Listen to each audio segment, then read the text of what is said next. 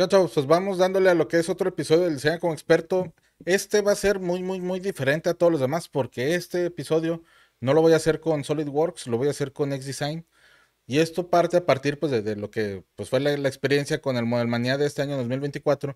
Que en resumidas cuentas, si ya checaron, por ejemplo, el live que hice pues, acá en YouTube eh, de pues, mi experiencia en el 3 Experience, eh, está larguito el live, dura pues casi tres horas, les estoy contando pues prácticamente un super resumen de lo que viví en pues que cinco o seis días. O sea, tres horas pues sí es bastante, pero pues de nuevo es el super resumen. En fin, resumidas cuentas, con esto del Model Manía que se me trabó, que platiqué con Manish Kumar, el, el, CEO de SolidWorks, que salió el tema, que ya somos compas y todo, que le conté que se había trabado el programa y que por eso ya pues quedé descalificado. Me dijo de que, oye, no, pues vuelve a hacer lo que es el, el el concurso, pero hazlo con XDesign, pues a ver cómo te va. Entonces dije, ah, bueno, pues suena, pues suena como un buen reto, pues vamos a ver qué, qué sale.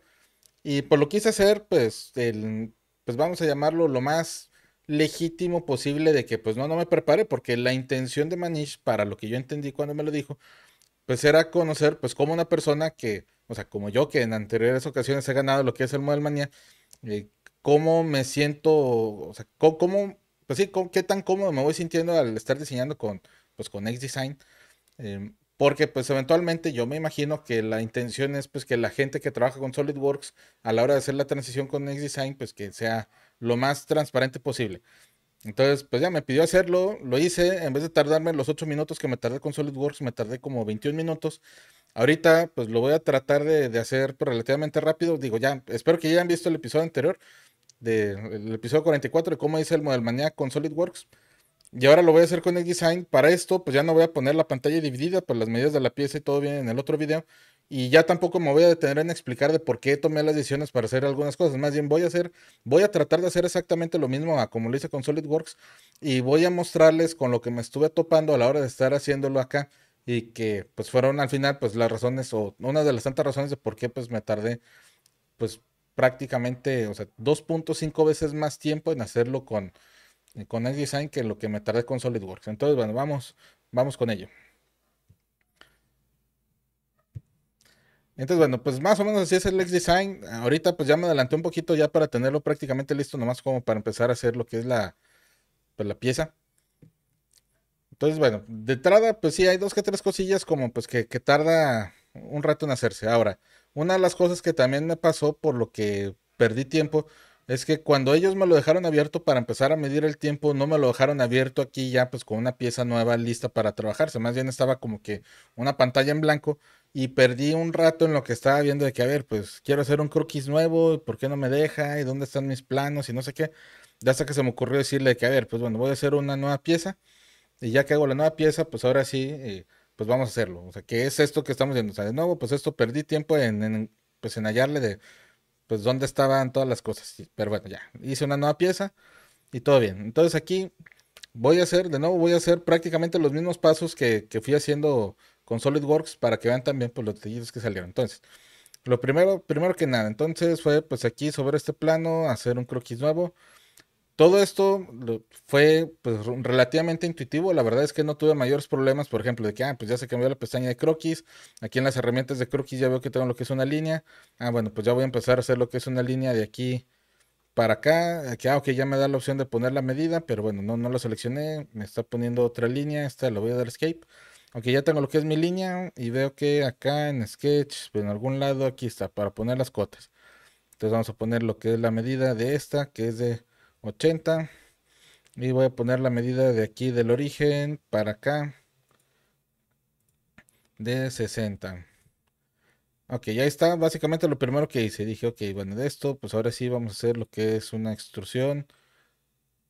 Y acá en la extrusión dije ok la extrusión vamos a decirle aquí que sea mid plane que esto sea de 30 la verdad en lo que yo estoy haciendo esto ni le estoy poniendo atención a las otras cosas, pero por ejemplo aquí me dice que hay un error que los perfiles abiertos no son válidos para extrusiones sólidas, que selecciona lo que es un, o sea, que selecciona un perfil cerrado, que cambia el tipo de extrusión. La verdad eso ni lo leí, es más, ustedes ni lo están viendo porque lo tapa mi carota. Ahí está, este error que sale aquí, eh, pues ni lo leí, la verdad. O sea, yo, yo me enfoqué pues en estar haciendo. Ya sabía que, ok, aquí dice que es sólido. Ah, bueno, mira, aquí está la opción de, de thin, que supongo que es bueno, no supongo, más bien me imagino que es esto como de lámina. Ok, este espesor que sea de 5. Ok, ya se está poniendo el espesor hacia arriba. A ver, lo voy a decir aquí que lo cambie hacia abajo. Ok, pues ahí parece que se está haciendo pues tal cual como sería en SolidWorks. Ok, ahí está. Entonces ya tengo lo que es pues como que la base. Entonces ya tengo la base. Ahora sí, sobre esta cara voy a hacer un croquis nuevo. Aquí voy a hacer lo que es un circulito. Este circulito lo voy a poner acá, que va a ser de... Aquí pues sí le voy a poner la medida utilizando ese cuadrito que sale allí ya para escribirla. Le voy a decir que la medida es de 20. Entonces ya se ve la medida de 20. Le voy a decir aquí operaciones, que se haga la extrusión de 20 también. Aquí ya nomás lo voy a girar tantito para corroborar que sí esté haciendo hacia arriba y no hacia abajo. Ok, hacia arriba, todo en orden. Ok, ahí está. Dije, ok, bueno, ya tengo este. Ahora sobre este de aquí, voy a decirle que me haga un croquis nuevo. Que este croquis nuevo se haga aquí. Este era de 20 también.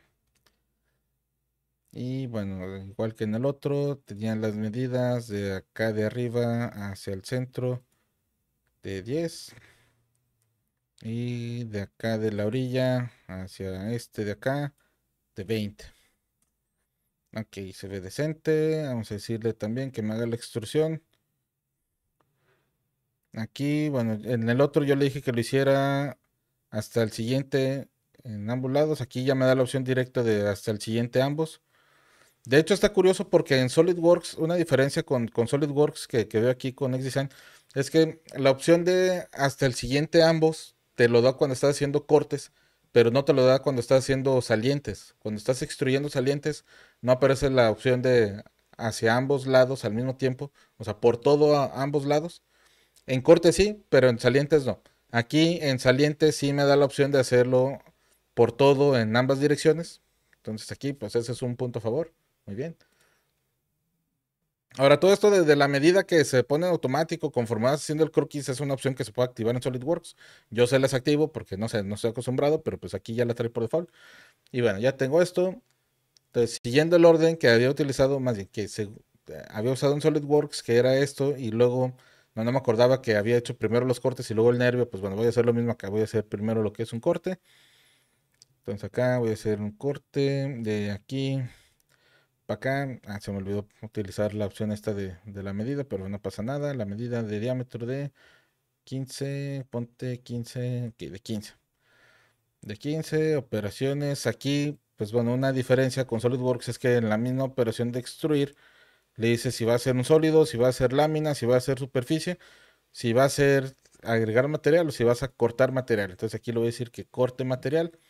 Y le voy a decir que este sea por todo.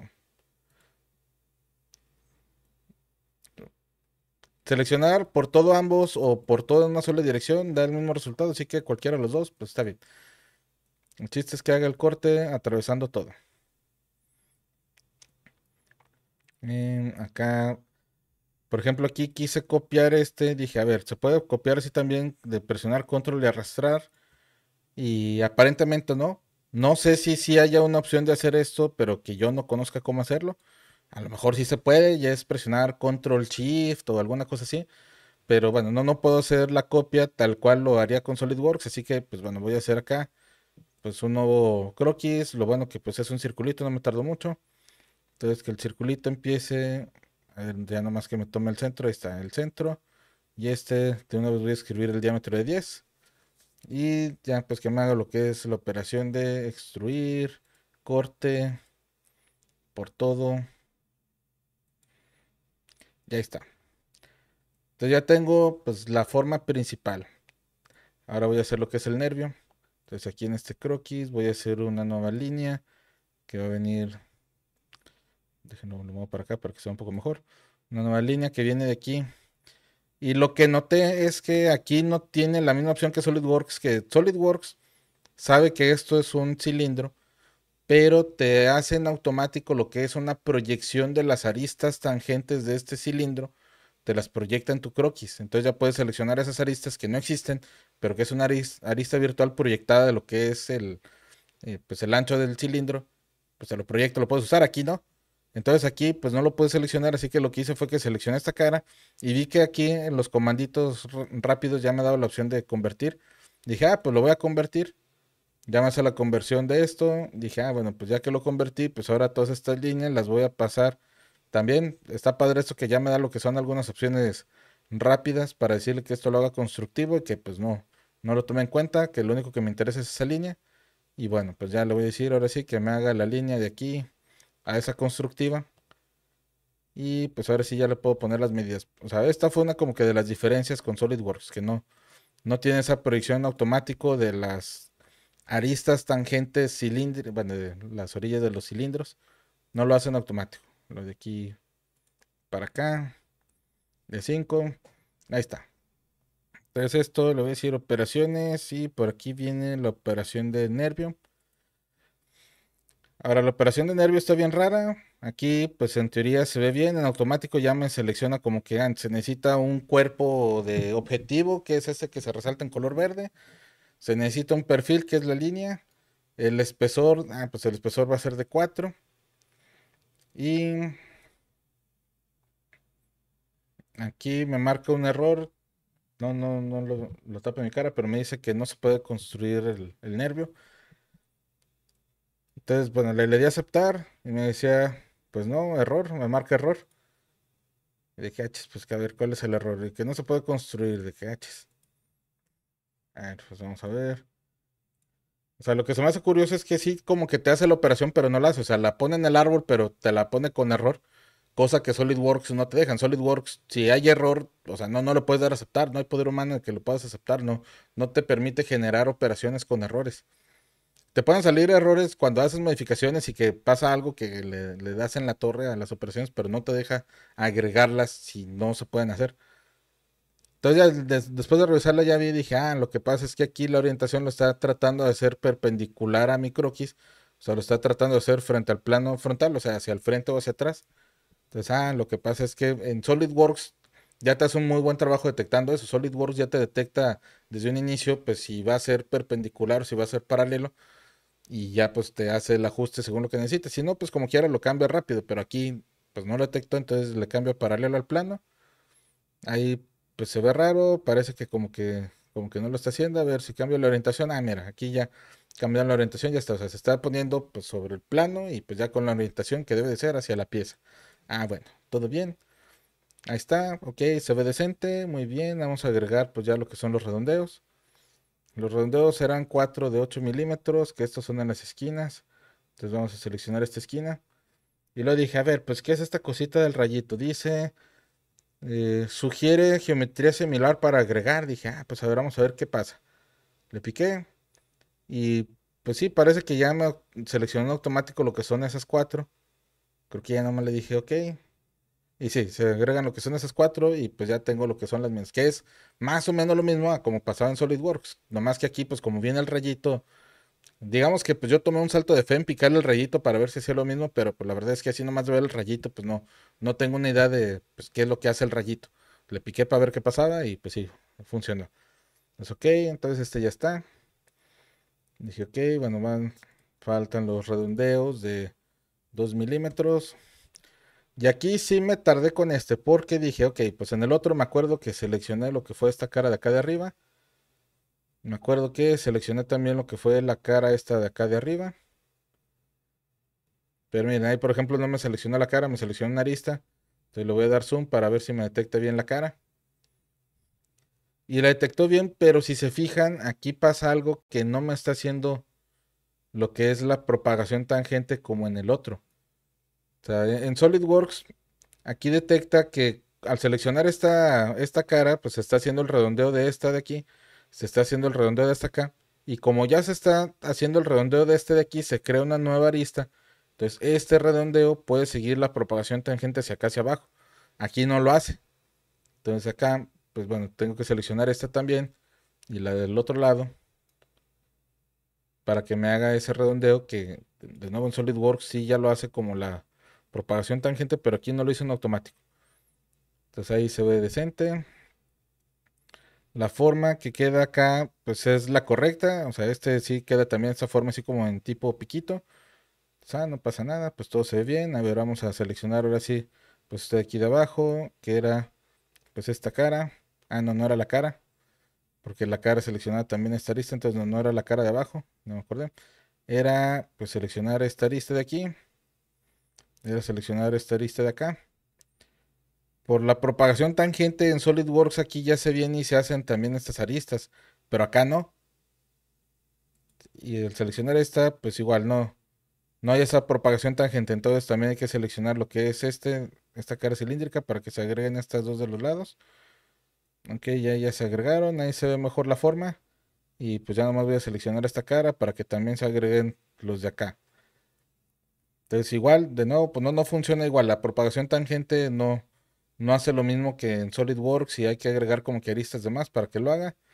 Pero pues bueno, ya al final pareciera que el resultado, pues sí, sí es el correcto, pareciera. vamos a ver. Ya nomás pues voy a agregar lo que es el material, me voy a venir acá. aquí sí me tardé en encontrarle porque pues no, no, no tengo mucha experiencia con esto. Eh, sabía cómo era el simbolito porque ya lo había visto en algún lado, pero no lo encontraba. Pero bueno, es este simbolito. Este simbolito es el del material. Aquí pues ya le dije que a ver, pues, o sea, no aparece nada en la lista. Vamos a poner steel, que era el, ¿cómo se llamaba? El plain carbon steel. Entonces vamos a ver, plain carbon steel. Ok, aquí sí lo encontró, plain carbon steel, supongo que es este. Y aquí lo que no encontré fue cómo agregarlo. Porque le da doble clic pensando que se iba a agregar, y no, o sea, me abre lo que es el... pues las propiedades, algunas propiedades, y digo, ah, pues ok, eso no, me interesa. A ver, aquí tiene esto como para regresar. Y le da doble clic y no, no, nomás no leí, en ese momento no leí, ya después descubrí que es pues clic derecho y aplicar. Aquí no cambia la visualización. Creo que hay que seleccionar luego esta opción y decirle aceptar. Ok, ahí ya se está aplicando. De nuevo, como que no cambia la visualización, pero se me hace que por aquí en algún lado, aquí está, que el material ya cambió Plain Carbon Steel. Entonces, si todo sale bien, se supone que aquí al checar las propiedades físicas, que es esta balancita, pues debería dar los 155.58 que daba en SolidWorks. Aquí seleccionar sólidos, vamos a seleccionar este sólido, que por alguna razón no me lo selecciona, ahí está, ya lo seleccionó. Ahí está, 155.58. Entonces al final, pues da exactamente el mismo resultado, geométricamente es lo mismo, la densidad es la misma, todo está bien, entonces está correcto. Entonces hasta aquí no hubo muchos problemas, de nuevo, pues yo perdí tiempo en lo que encontraba, pues cómo buscar el material, en lo que encontré cómo aplicarlo, en lo que me peleé con el nervio porque no funciona igual que SolidWorks, en lo que el redondeo pues no, no tiene la misma propagación tangente que en SolidWorks. Entonces eso fue lo que hizo que perdiera algo de tiempo. Cuando acabé lo que fue la primera etapa ya llevaba como 8 o 9 minutos. O sea, en SolidWorks lo que me tardé en hacer todo fue lo que me tardé aquí solamente en hacer la primera etapa. Dije, bueno, está bien, no pasa nada, pues ahora sí vamos a hacer la segunda etapa. Entonces ya para la segunda etapa, pues hice más o menos lo mismo, o más bien intenté hacerlo más o menos igual a como lo hice en SolidWorks. Vi que aquí tenía lo que es esta barrita como para subir y, o sea, es como que mi barra de retroceso en SolidWorks. Entonces dije, ah, ok, mira, pues aquí tengo la barra de retroceso, entonces aquí me regreso. Ah, muy bien, este croquis, voy a editar el croquis para decirle que esta medida sea también de 60. Traté de editarlo exactamente igual que en SolidWorks. Acá veo que arribita tiene estas opciones como para darle a aceptar. Ok, 60, ya se aceptó, ya se cambió. Ok, parece que eso ya está bien. Vamos a ver los, que es la siguiente operación. De nuevo hice lo mismo que en SolidWorks. A ver esta, vamos a darle doble clic. Ok, aquí no me resalta nada. Se metió para cambiar. Esto, ok, sí quiero cambiar esto, pero lo que necesito es agregar que en la segunda dirección sea hasta una cierta profundidad de 5. Ok, ya tengo esto, pero me falta lo que es el, radio. Bueno, el diámetro, cambiar el diámetro. Entonces aquí, ah, pues esto es en el croquis. Voy a editar el croquis para decirle que este de acá sea de 30. Ok, todo bien. Muy bien. Eh, ahí se ve bien. Aquí este se ve bien. Entonces, acá yo ya sabía que, bueno, pues que ya lo que necesitaba hacer era el ángulo de salida, que ya sabía que el ángulo de salida lo tenía que hacer después de estas, después de los dos cortes. Y dije, ah, pues facilito, aquí voy a hacer lo que es el ángulo de salida. Entonces ya me fui, operaciones, ángulo de salida, seleccioné esta cara como plano neutro, seleccioné pues esta cara, esta cara, esta cara y esta cara para que se agregue el ángulo de salida de 5 grados en la dirección hacia arriba. Y pues nada, no lo hace. No funciona igual que SolidWorks, o sea, no, no, lo hace como lo haría SolidWorks. SolidWorks, pues sí, sí le agrega el ángulo de salida a partir de ese plano neutro en todo esto, pero acá no. Entonces, para no hacer el cuento muy largo, me puse a tratar de buscar, bueno, cómo lo puedo agregar al ángulo de salida, qué es lo que tengo que hacer. Y al final lo que terminé haciendo es que me vine y me tuve que venir acá lo que fue o sea, hice varias pruebas porque de hecho dije, a ver, y si lo hago aquí, si lo hago antes, antes de los cortes, tampoco se pudo. Si lo hago acá antes de esto, tampoco se pudo. Entonces, e, eventualmente terminé haciendo lo siguiente, hice el ángulo de salida, tomando en cuenta lo que fue el plano neutro como esta cara y las caras para agregar el ángulo, pues estas de acá de los lados. Nomás estas tres, la, la, de acá, pues no, no importa porque al final pues se la va, se la va a comer lo que es el, redondeo, bueno, más bien la saliente cilíndrica. Entonces ya agregué lo que fue el ángulo de salida en estas caras. Y luego me vine acá a este. Ahora, en la base no, no pude editar la operación de base y decirle que me agregara el ángulo de salida desde la extrusión. Porque como es de plano medio, por, o sea, con la línea, pues me hubiera hecho el ángulo de salida pues digamos, del, del plano frontal hacia los extremos en vez del plano superior hacia arriba. O sea, no, lo, tuve que haber hecho así con, con esta de ángulo de salida allí. Esta sí la pude editar y sí le pude decir de que, ah, bueno, pues agrégame. necesito el ángulo de salida. Por aquí viene alguna opción, creo que viene aquí en avanzado. Avanzado, aquí está. Avanzado, ángulo de salida en dirección 1 y dirección 2 de 5 grados dirección 1 hacia arriba y 5 grados hacia abajo, pero dirección 2 que esté hacia afuera. afortunadamente, pues ya cuando lo estuve editando, pues esto sí se me hizo intuitivo de, ver en las opciones avanzadas que aquí venía lo de ángulo de salida, que venía de dirección 1 y 2, que yo ya sabía pues que necesitaba agregar, hacia arriba, hacia estos 20 de arriba, pues el ángulo hacia arriba y estos 20 hacia abajo, pues el ángulo hacia abajo. Entonces, pues ya supe que era dirección 1 y 2, que era el de 5, y pues ya nomás cambiar el sentido. Y pues con esto, pues se, pudo hacer. O sea, la, geometría que yo necesitaba del ángulo de salida, se pudo hacer. Ahora acá, este. Pues acá el tema es que como se hizo este, hasta el. Eh, por todo en ambos lados, pues ese por todo es hasta donde llegó la arista y no es pues con la geometría de la cara. Entonces aquí tuve que editar este para decirle que en vez de que se hiciera por todo ambos, pues que se hiciera hasta la geometría. Y seleccioné la geometría de un lado, hasta esta cara. Y luego dirección 2, que se hiciera hasta la geometría. Y para la otra geometría, acá lo voy a mover, que se hiciera hasta la geometría, hasta esta cara, para que esta saliente pues ya se hiciera, pues tomando en cuenta lo que son esos ángulos de salida ya se hizo con ese ángulo de salida, ok, todo bien, geométricamente, pues sí, esto ya, ya es lo correcto. Aquí el corte se hizo bien. Acá este corte, pues sí me lo hizo de emoción y me marca error porque pues viene inclinado y todo el rollo. Entonces, bueno, aquí le dije que me cambiara lo que fue el plano. Este, editar el plano de croquis para que el croquis en vez de estar sobre esta cara se hiciera sobre este plano. Aquí vamos a editar este croquis. Tengo esta sillita acá para lo, que son las vistas, para verlo de frente. Lo que noté es que por alguna razón cuando vas seleccionando ciertas entidades, por ejemplo aquí como que se hace una conversión de entidades en automático. cuando ya había hecho este circulito al principio, que seleccioné el centro de este arco, se hizo, o sea, se convirtió ese arco, se convirtieron como que entidades Y pues ese no lo necesito, lo voy a borrar. Entonces este voy a tratar de arrastrarlo para volver a ponerlo como que centrado con la, la vista frontal de ese. Y no me deja.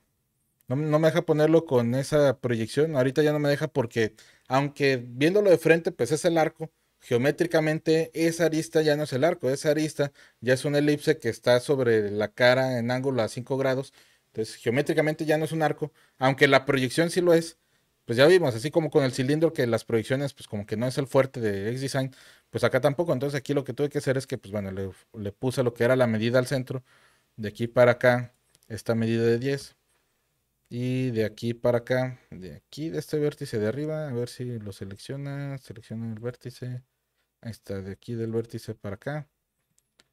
Ah, no me está seleccionando cosas raras, a ver. De aquí al vértice, a ver si me agarra el vértice. No, no me deja agarrar el vértice.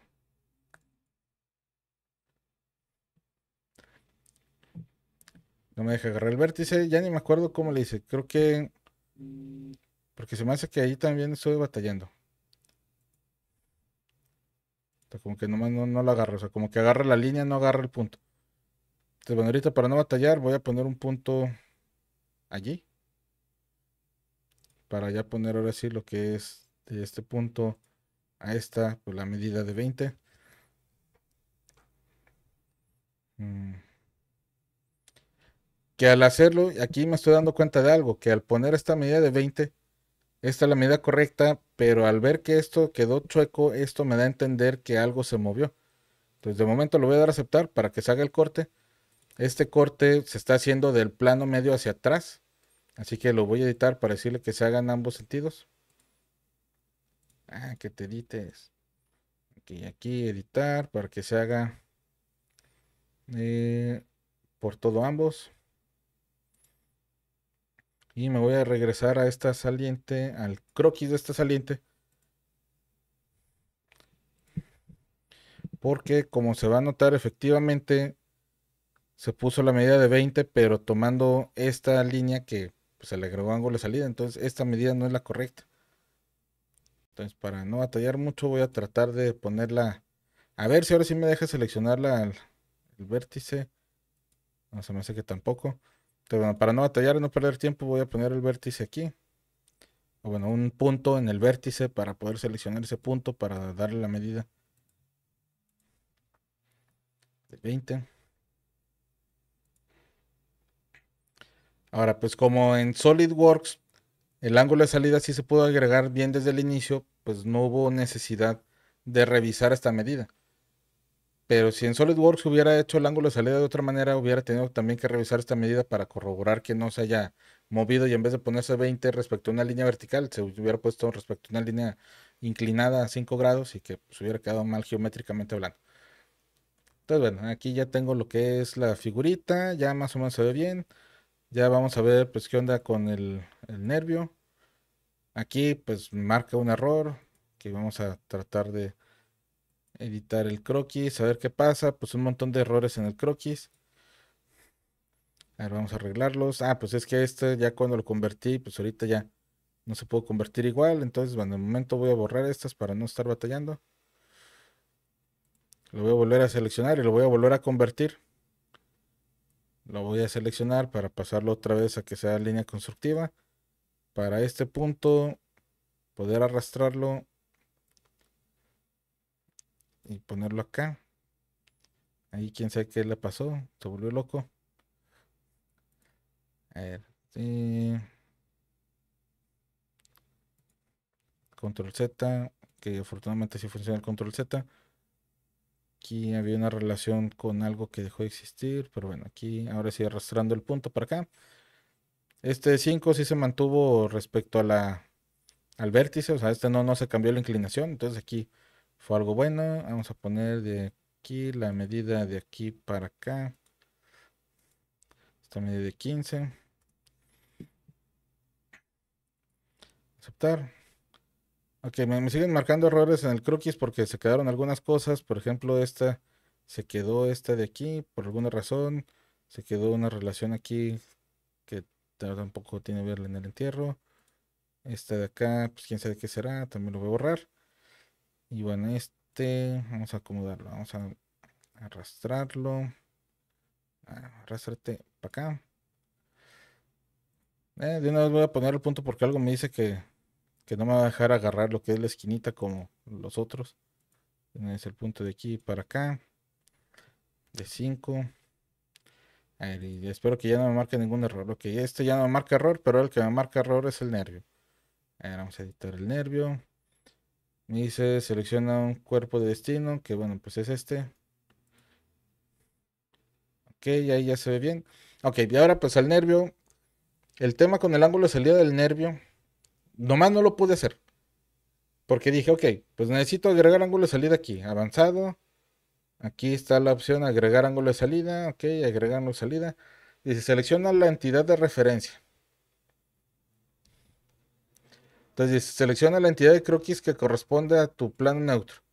Dije, ok, la entidad de croquis que corresponde a mi plano neutro, pues si mi plano neutro va a ser esta de aquí, pues voy a seleccionar esta misma.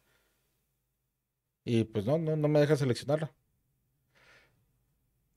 Selección ilegal. Ahí.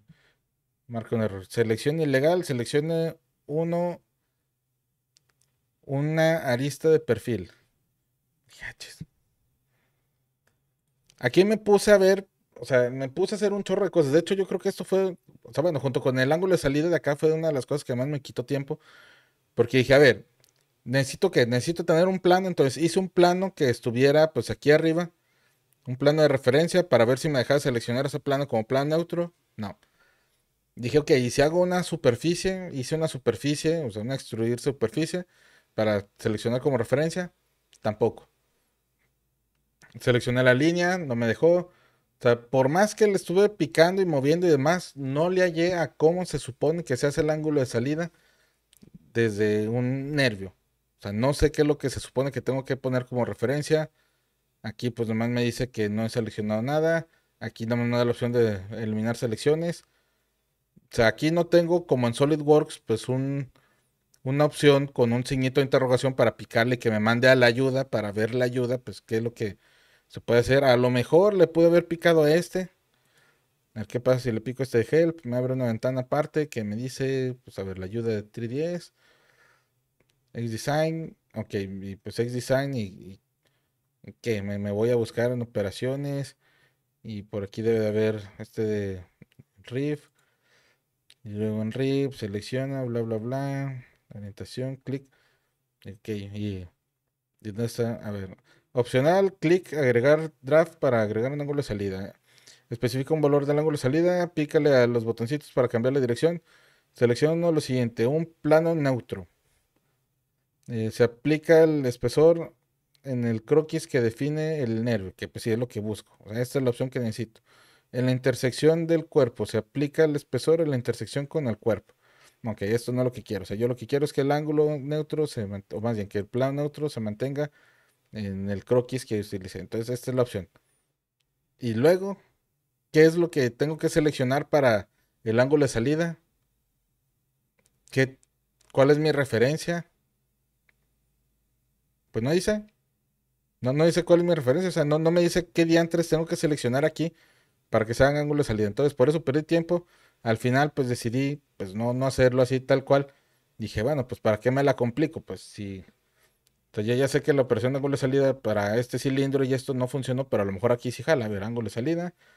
Eh, entidad neutra, pues va a ser, o bueno, mi cara neutra va a ser esta cara de acá de arriba. El ángulo de salida se va a aplicar a esta cara de aquí. Y esta cara de acá. Ok, 5 grados. Supongo que así está bien. A ver, aceptar. Ok, parece que sí, me lo está agregando. Ahí se ve cómo ya me lo agregó. Ok, pues parece que está decente. Este redondeo, miren qué curioso, aquí no me marcó ningún error de que dejaron de existir los, los de atrás. Se agregó el redondeo ya. Y este último redondeo se está actualizando. Allí se ve decente. Pero pasa el mismo tema de geometría que en el otro, que aquí esta curvita se hace hacia abajo cuando debe ser hacia arriba. Entonces también lo voy a editar para pues, que no se haga esa hacia abajo. Entonces también voy a quitar la selección de esta cara. Le voy a dar a aceptar. Ah, eh, no, no es la cara, pero sí tengo que seleccionar como quiera estas. Así tengo que seleccionar este. No se va a hacer la propagación tangente, así que bueno, voy a seleccionar este otro.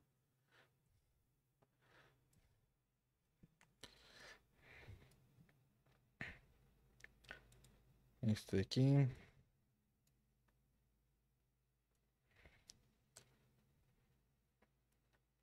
Y bueno, nomás para asegurarse acá. Ok, ahí está, se ve decente. Entonces ahí se ve decente, pues ya nomás me falta el, pues los redondeos aquí en esta parte. Entonces otro redondeo de 2 milímetros en esta cara ahora sí.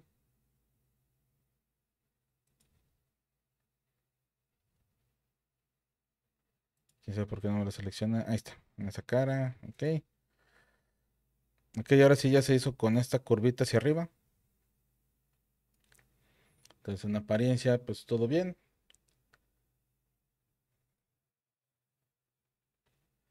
Y pues bueno, ya nomás voy a... El material ya estaba aplicado, entonces ya nomás voy a checar lo que es el, las propiedades físicas.